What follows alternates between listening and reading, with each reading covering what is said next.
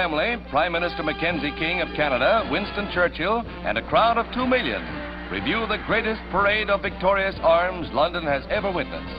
England's rulers, with the Queen Mother and the two princesses, who set a noble example for the entire empire during the darkest hours of the war, see the hard-won victory celebrated.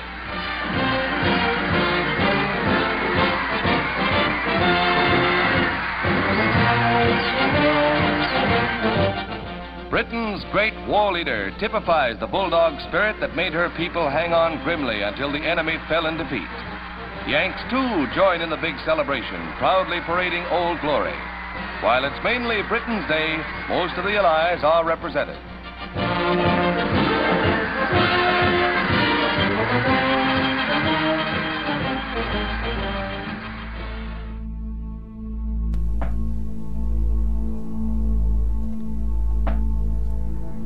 Arnhem, Netherlands. Operation Market Garden, 1944. Lieutenant Colin Murgu, Royal Airborne Infantry.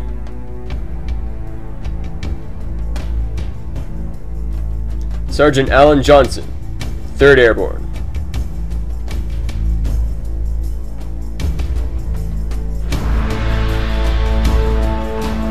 Staff Sergeant Max Hebert, Royal Airborne Infantry. Many Canadian paratroops were deployed in Arnhem, Holland in 1944. We were part of them. The soldiers were a part of Operation Market Garden. Nothing went right. We landed in a forest near a Nazi occupied town. We were not sure what to expect, but we soon found out.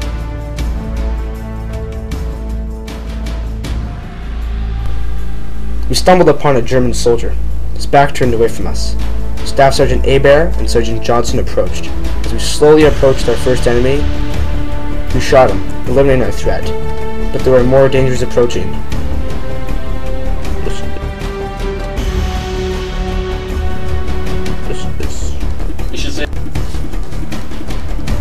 As it started to rain, gunshots erupted from the bushes. We ran for cover. We were outmanned and outgunned. We moved up towards a hidden clearing. We encountered another German soldier. Hesitating on our advance, we had no choice. We had to kill the soldier and hide in the hidden area. During our advance, the soldier spotted us. Both sides opened fire. He was no match for us, but our lieutenant was shot.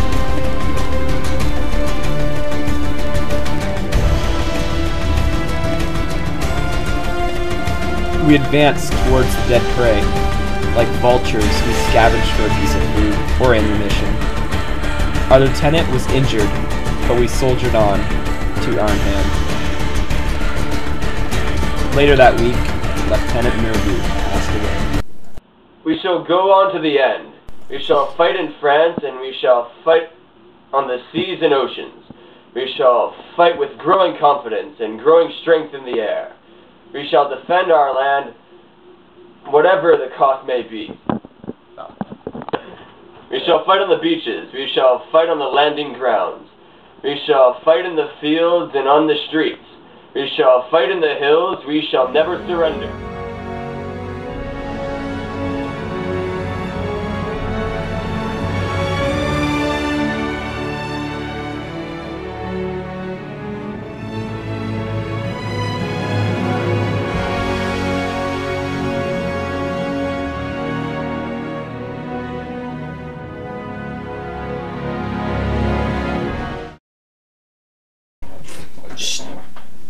We advanced towards our dead prey, like vultures. We scavenged for a piece of food or any ammunition. Our lieutenant was injured, but we soldiered on. We're keeping that. Alright. It was 1944, and at dawn, a lot of Canadian troops and Yankees and British people